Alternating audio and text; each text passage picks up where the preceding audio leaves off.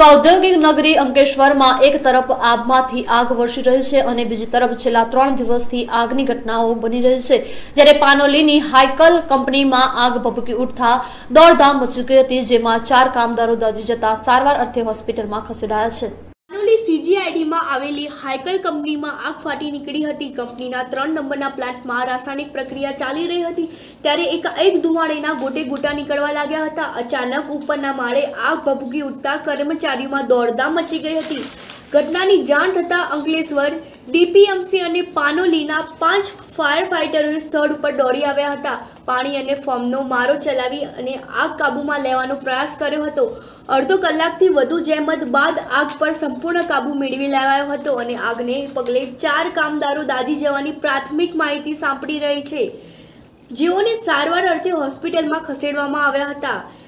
GPCB, police અને factory ઇન્સ્પેક્ટરે દોડી આવી વધુ તપાસ હાથ ધરી છે. જીતુ રાણા સાથે live twenty four news Bharuch.